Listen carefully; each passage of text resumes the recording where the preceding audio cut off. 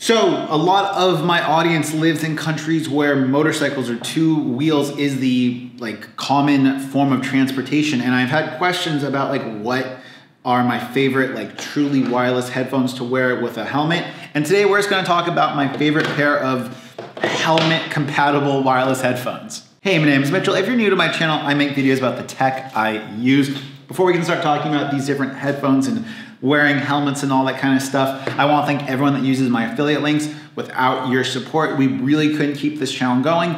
Uh, and that money basically goes directly into buying tech for me to make videos about for you guys. So if you guys want to support me, just use the affiliate links. Also, I have a website uh, where I've written content. Right now uh, on the website, I'm working with a great writer. We have articles posted twice a week about content kind of similar to this. And if you guys like the content here on the channel, go ahead and check that out. Also, if you are on Telegram, check out my Telegram community, link in the description. Okay, enough talking, let's just hop into this. Now, tons of different people have been asking me about what their favorite or what my favorite pair of headphones is to wear uh, with a motorcycle helmet. I have two motorcycle helmets here. Uh, I don't think I would review a motorcycle helmet, but if you guys wanted me to review a motorcycle helmet, uh, both of these helmets that I have are from reputable companies and both of them are under $200 USD. If you want me to review a helmet, let me know in the comments. My first suggestion to people with truly wireless headphones in general is that they are not helmet compatible. There's tons of different reasons why. But just for instance, if we have this fake pair of AirPods, we'll take them out, we'll put them in.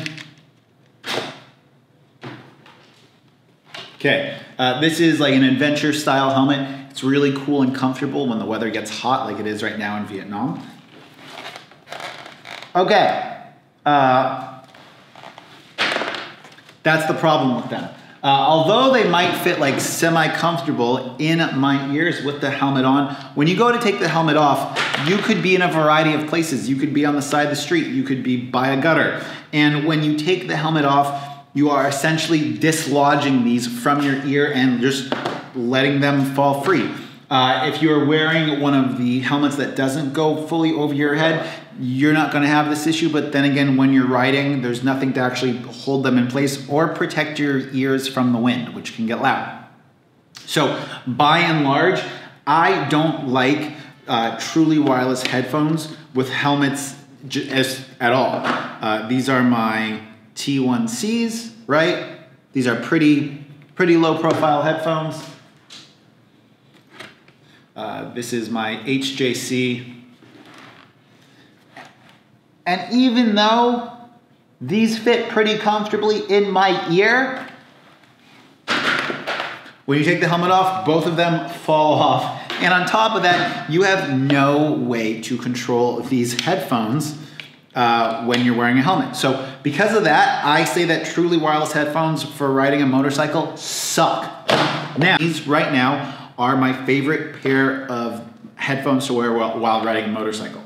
And these are the Anker uh, Sound Bud, Anker Soundcore Liberty Lite. Anker Soundcore Liberty Lite.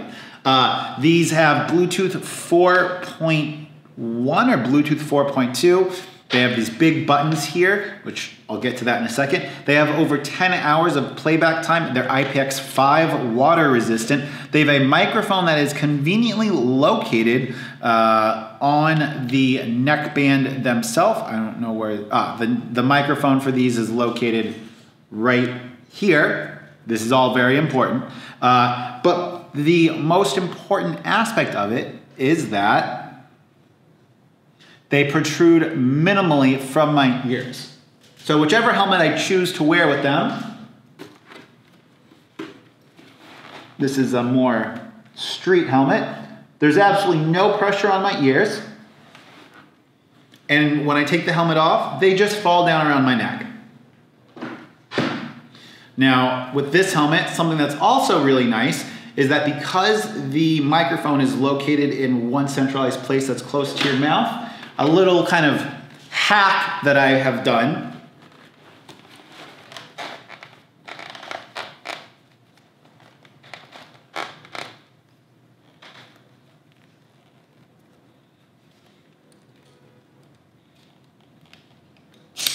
Now, if you guys need to make a phone call while riding, I don't necessarily suggest it,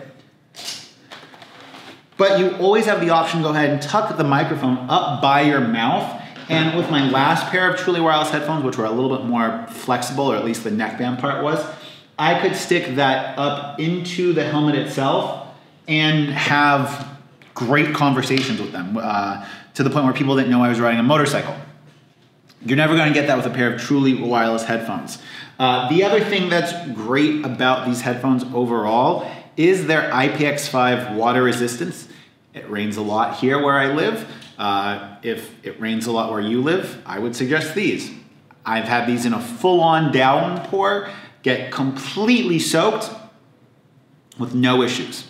Also, they magnetically clasp around your neck, which is kind of nice, I guess. You can put them behind you to get them a little bit more out of the way, a little bit less dangly if you so need. And one of the more important things is that the controls are on the left-hand side. Now, while riding a motorcycle or a scooter, you're usually using your right hand. Actually, all motorcycles and scooters, you're using your right hand to accelerate. And so you have your left hand free if you don't need to manipulate a clutch. With the setup on these, you have volume up and down, long press either up or down to skip or rewind a track, uh, like a two second hold to go ahead and summon assistant, which works great because the assistant, or because the microphone, sorry, is right here. So normally while I'm riding, I can usually use Google Map directions or like Google Assistant to give me directions while I'm riding, which if you're on a motorcycle in traffic is a lifesaver. It just makes the user experience of these amazing. So, the part that I wanted to talk about in regards to buttons is that uh, not everyone wears motorcycle gloves. If I'm going around in the city, uh, it's dry. Uh, I have my girlfriend on the back, so I'm driving pretty slow. Uh, I'm not always going to wear gloves. If I'm on my bigger motorcycle by myself or with some friends with bigger motorcycles, I'm probably wearing gloves if you get my drift. Uh, and so being able to manipulate these buttons, which are easily findable and tactile, and you can feel the press, is really important. That's why these are my favorite headphones right now. They do a good job at blocking out wind noise for longer trips. Uh, they, the sound on them is okay. Uh, the connection stability is perfect. I've never had an issue with the connection dropping out. Uh, their microphone quality is really, really good. And they're pretty cheap. They're like under 50 bucks, which in the overall, like, if we're talking about just headphones, uh, 50 bucks for a pair of headphones is kind of a lot compared to something like this, which is 20 bucks. But for motorcycle gear, and that's what I think of these as, they're not that expensive. The other reason I have no issue paying uh, like a slight premium for these is that living here in Vietnam and having to commute places on motorcycle, uh, being able to have the audio input for directions without having to look down at a phone, to me is kind of a safety feature. So uh, if you ride a motorcycle, if you want a good quality pair of Bluetooth wireless headphones, and Ankers are available in your country, uh, get these. Um, if these are not available in your country, then find something similar. But my suggestion to you is when you go into the store to try them on, bring your motorcycle helmet so that you can see how they interact with you putting the helmet on and off. Uh, that's gonna wrap up this kind of different video. If you guys want me to review these motorcycle helmets for some reason, uh, it's the LS2 Pioneer and it's the HJC IS17. Uh, both of them are ECE and DOT rated. Oh, the LS2 is not, uh, the, the LS2 I don't believe is uh, DOT because it has a ratcheting chin strap, but they make a DOT version of this. Uh, let me know in the comment section down below. Um, it would maybe be interesting to do uh, a different piece of content for you guys. Um, F, of course, you ride motorcycles. Okay, uh, I'm gonna go ahead and end this weird ranty video there. Uh, till next time, guys, if you wanna see some more videos about like truly wireless headphones like we talked about, click or tap over here for videos about the QCY T1Cs. If you wanna see videos about the Redmi AirDots or why you shouldn't buy the Redmi AirDots, go ahead and click or tap over here. If you wanna make sure you see all my videos, go ahead, subscribe where my nose is. Till next time, it's been Mitchell. See you soon.